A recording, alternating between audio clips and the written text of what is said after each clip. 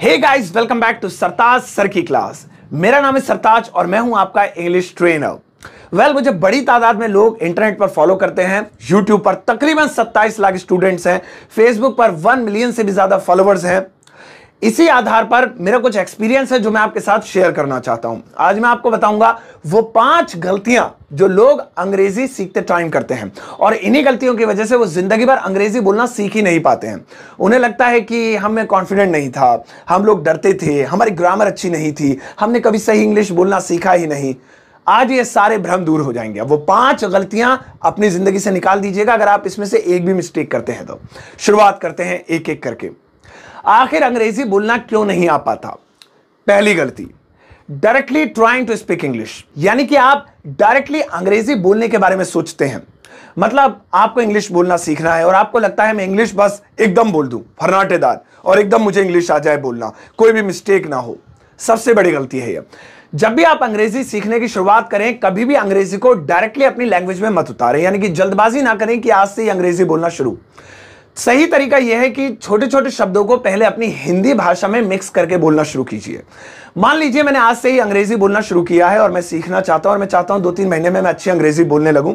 तो मैं आज से ही सेंटेंसेस बनाना शुरू नहीं करूँगा बड़े बड़े बल्कि चालाकी यह होगी कि छोटे छोटे वर्ड्स को अपनी डेली लाइफ में बोलना शुरू करूँगा। जैसे, पहले मैं बोलता था, मम्मी, सुबह हो गई है, मुझे नाश्ता दे दो, मुझे देर हो रही है, शाम को मैं खेलने जाऊँगा, मेरा दोस्त मेरा इंतज़ार कर रहा है।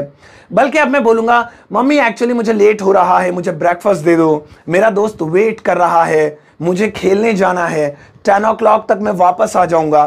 तो दस बजे के बजाय टेन ओ नाश्ते के बजाय ब्रेकफास्ट इंतज़ार के बजाय वेट ये छोटे छोटे शब्द जैसे जैसे मैं अपनी भाषा में ऐड करता चला जाऊँगा ऑटोमेटिकली मेरी जबान पर अंग्रेज़ी उतर जाएगी। तो पहली गलती यह है डायरेक्टली स्टार्टिंग में ही अंग्रेज़ी बोलने की कोशिश मत कीजिए। यानी अगर मैं शुरुआत में सुबह सुबह बोलूँ, मम्मी आई वॉन्ट ब्रेकफास्ट तो ये नहीं हो पाएगा। ना ही मैं इस तरीके से अंग्रेज़ी सीख सकता हूँ। चलिए, दूसरी गलती बताता हूँ। दूसरी गलती है नॉट स्पीक इन माइंड यानी कि आप माइंड में बोलते ही नहीं है। कभी भी ये मत सोचिए कि मुझे अंग्रेज़ी सीखनी है तो मैं सामने वाले से डायरेक्टली बोल लूँ। ऐसा बिल्कुल मत कीजिए। बल्कि माइंड में सोचिए, अंग्रेज़ी को दिमाग में सोचिए। अब मान लीजिए आपकी फेवरेट मूवी है शोले। अब आप आँखें बंद कीजिए या खोल कर रखिए, बस दिमाग में उसकी स्टोरी को अंग्रेज़ी में बोलना शुरू कीजिए। कुछ इस तरह से। Sholay is a good movie it's a story of two friends there was a villain his name was Gabbar ऐसे ऐसे कुछ दिमाग में लगाइए। क्रिकेट के ऊपर, फ़िल्म के ऊपर, न्यूज़ के ऊपर, आर्टिकल्स के ऊपर, जिसके ऊपर आप चाहें, आसपास की चीज़ों के ऊपर, मोबाइल फ़ोन के ऊपर, कंप्यूटर के ऊपर, फैमिली के ऊपर, दोस्तों के ऊपर टॉपिक्स लीजिए और दिमाग में बोलना शुरू कीजिए।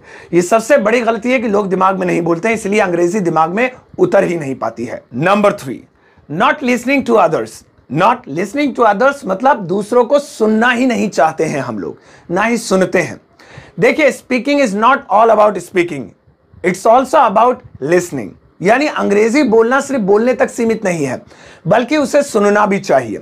और सबसे बढ़िया प्रैक्टिस सुनने की यह है कि आप YouTube या कोई भी एक वीडियो प्लेटफॉर्म खोल सकते हैं और वहाँ पर अपने फेवरेट एक्टर एक्ट्रेस लीडर या जिन्हें भी आप फॉलो करते हैं या जिन्हें जानते हैं, उनका नाम डालिए और लिखिए स्पीच इन इंग्लिश जैसे Akshay Kumar speech in English या Salman Khan interview in English या Deepika Padukone interview in English.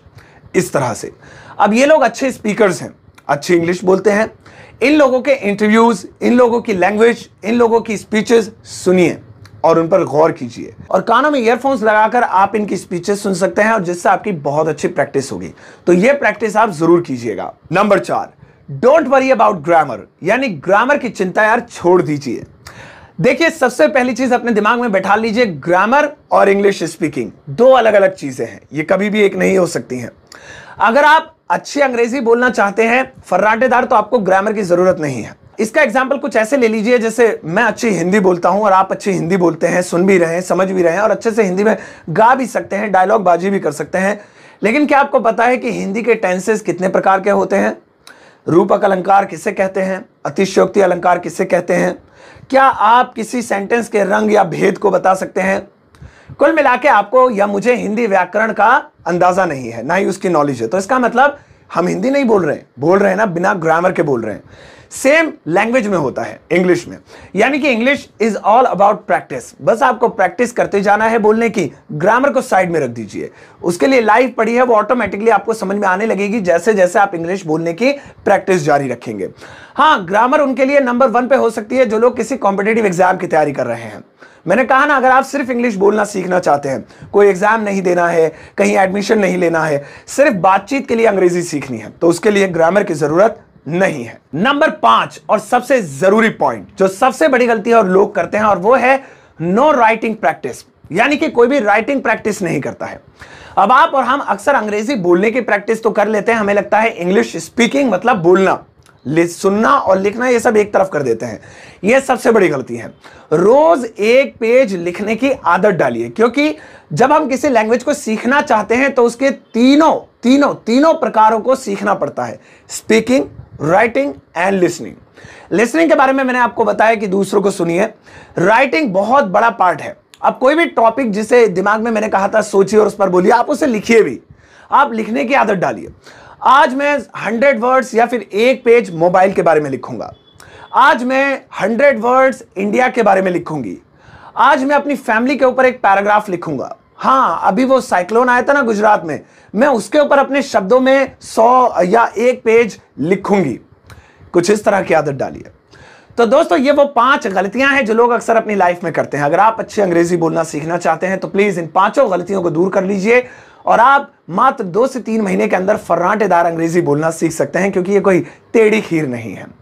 मेरा नाम है सरताज, एक बार फिर से आप मुझे सुन रहे थे मेरे यूट्यूब चैनल और फेसबुक पेज सरताज क्लासेस पर। अगर आपको ये सारी चीज़ें पसंद आए और मेरे पढ़ाने का तरीका पसंद हो तो मेरे यूट्यूब चैनल सरताज क्लासेस को सब्सक्राइब कर लीजिएगा, जो कि एकदम फ्री है। मिलता हूँ आपसे अगली क्लास में, तब तक के लिए अपना ध्यान रखिएगा।